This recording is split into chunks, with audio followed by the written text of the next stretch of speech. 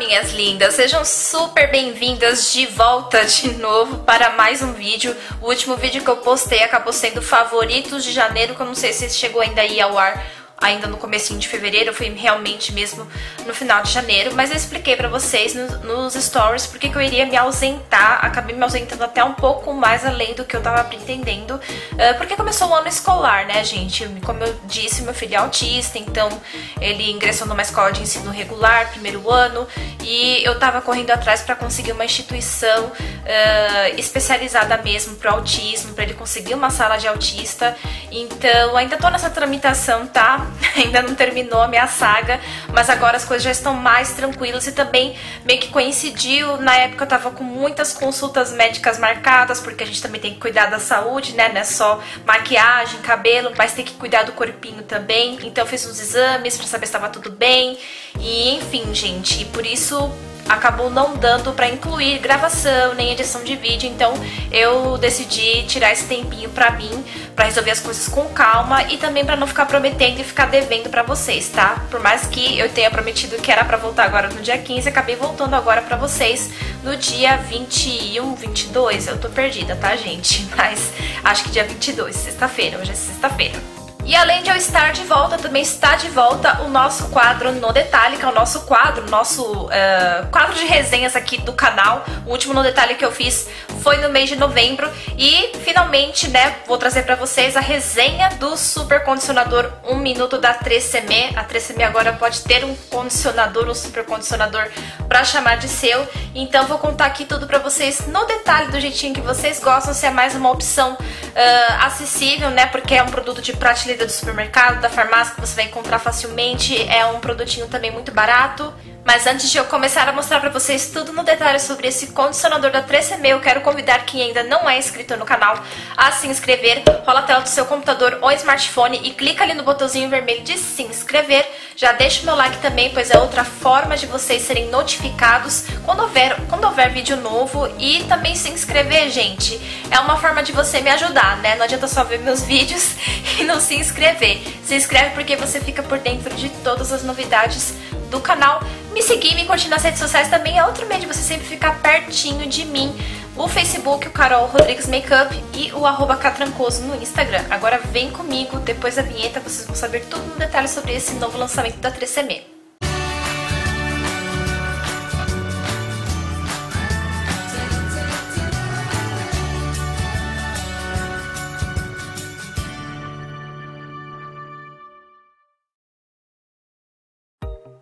Eu já começo dizendo que esse é mais um produtinho patrocinado pelo meu bolso, tá? Porque tem gente aqui que insiste que eu vivo fazendo publicidade. Eu não faço publicidade, gente.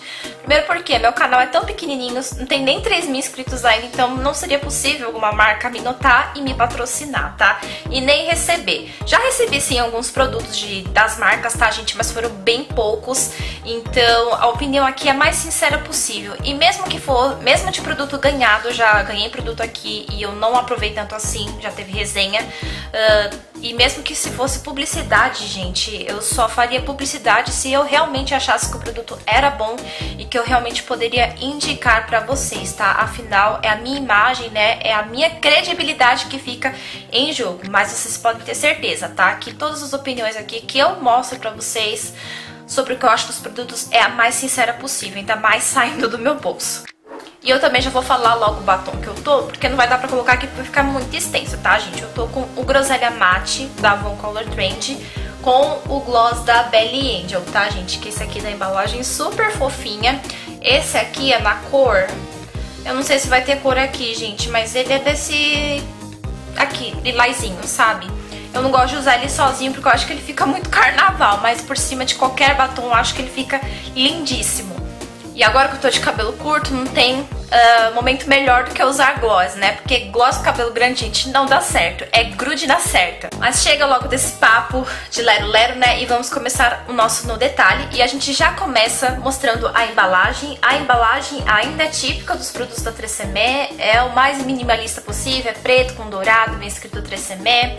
E aqui na embalagem já tem as promessas, tá, gente? Eu já vou passar para as promessas. Diz aqui que é um super condicionador 1 minuto efeito primer com acabamento profissional. Esse condicionador, super condicionador aqui, a gente tem duas versões, lisos e ondulados e cacheados e crespos. Eu resolvi comprar a versão lisos e ondulados, que eu acho que se encaixa melhor no meu perfil. E diz aqui que são para lisos e ondulados super hidratados e com frizz controlado. É um condicionador de uso diário com enxágue, tá, gente? Mas vamos saber mais detalhes aqui na parte de trás, tá, gente? Diz aqui a marca que o novo super condicionador 3CM Efeito Primer Prepara os cabelos lisos e ondulados para você criar o look que quiser, com acabamento profissional. Em apenas um minuto proporciona uma super hidratação e sela a cutícula dos fios, ativando seu efeito primer. Então ele promete também, dentre esses benefícios, o controle do frizz, super brilho, textura uniforme e toque aveludado. Então são quatro aí uh, promessas da marca, né? E também tem proteção contra danos e altas temperaturas. Eu não sei dizer se isso aqui serviria também como, tipo... Eu confesso que eu não usei dessa forma, tipo, usei shampoo, passei ele e depois já vim com o secador e com a chapinha, acreditando que ele tem proteção térmica. Hum, porque aqui não tá entre as principais promessas, né? Então, por via das dúvidas, eu sempre passo meu protetor térmico, né? Então é mais ou menos isso, gente. É um condicionador que você vai deixar agir por um minuto. Ele é mais ou menos a mesma proposta do super condicionador também da Dove, que inclusive também é da Unilever. Dove e 3 são da Unilever. Eu já fiz resenha do super condicionador da Dove Fator 40, tá? Porque o da Dove tem três, assim como o da 3 tem duas versões, o da Dove tem três, tá? Que é o fator 40, fator de nutrição 40, o 50 e o 60. Depois eu troquei pro 50, tá, gente? Achei o 50 melhor ainda, uh, mas é um condicionador que eu gosto muito até hoje. E também tem resenha aqui do 3 minutos milagrosos da Pantene, tá? O único que ainda você precisa de 3 minutos para um milagre. É um pouquinho mais antigo, mas mesmo assim eu vou deixar aqui nos cards. Uh, agora eu vou passar para o vídeo da aplicação, tá, gente? Eu vou mostrar para vocês um pouquinho da textura também desse condicionador, que eu confesso que eu fiquei com o pé atrás quando eu vi essa textura, gente, porque assim que a... não sei se vocês, se vocês perceberam no vídeo, assim que eu abri a embalagem assim, já veio caído o condicionador. Eu não diria que ele é uma textura fluida, mas também não é uma textura muito consistente, fica ali no meio termo. Uh, se for para comparar com o condicionador da Dove, eu acho o da Dove um pouco mais consistente, esse daqui é um pouquinho mais aguadinho, mas não é tão fluido. Porém, em comparação com o condicionador comum da 3CM, eu achei que ele escorre um pouco mais. Eu também não sei se vocês vão conseguir perceber aí pelo vídeo, tá? Uh, foi esse condicionador aqui que eu pus pra comparar, tá? Que também é da 3CM, que é o 3plex Regeneração. Então eu senti que o condicionador comum é, tem uma textura mais firme do que o que promete ser super condicionador. Bom, depois de lavar os meus cabelos, gente, aí eu venho, finalmente vou conseguir gravar resenha no chuveiro, tá, gente? Lógico que não pelada, tá? Com biquininho, pra vocês verem aí. E eu já aplico o condicionador e eu espero esse tempo, tá, gente? Um minuto, né? Porque a gente quer praticidade nessa vida, né? Daqui a pouco eu quero um creme que age em 30 segundos, quem sabe, né?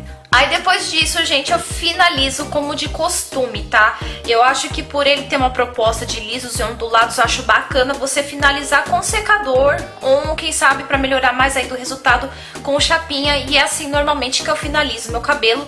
Tem um vídeo de eu finalizando meu Pix aqui no canal, que são de produtos favoritos para finalizar o Pix. Eu vou deixar aqui nos cards para vocês também. E como eu tava dizendo, eh, esse tipo de produto realmente exige que você finalize o cabelo dessa forma, porque só assim você vai conseguir realmente ver o resultado real uh, do produto. Eu achei que ele deu boa maleabilidade pro meu cabelo e também bastante brilho. Lógico que esse é um condicionador que não vai mudar a estrutura do seu cabelo, porque ele não tem química, tá, gente? Então pode ficar tranquila. É mais pra quem uh, gosta de cabelos mais lisos, né? Se você já tem o cabelo liso, vai ficar mais corrido ainda. Se você não tem o cabelo liso, quando você for finalizar dessa forma que eu falei, você vai sentir ele um pouquinho mais liso. E eu tô com ele aqui no momento, tá, gente? Como eu não sou a rainha da escova e nem da chapinha, o meu cabelo acaba dando uma onduladinha. E eu não sei se aí no vídeo vai conseguir captar a maleabilidade e o brilho. E olha que eu passei aquela aquela pomada da, da Lola Cosmetics do Serial Killer, que ele dá meio que uma endurecida no cabelo, mas mesmo assim o meu cabelo ainda tá soltinho, tá maleável aqui e também ainda tá com muito brilho. Gostei do produto? Gostei, gente. Sinceramente, ele até me surpreendeu, porque eu achei que por conta dessa textura dele ser bem molenguinho, eu achei que ele ia ser mais do mesmo de um condicionador, no caso, um condicionador comum mesmo da 3CM. Só que em comparação com o da Pantene e da Dove, eu acho sim que ele ainda deixa muito a desejar.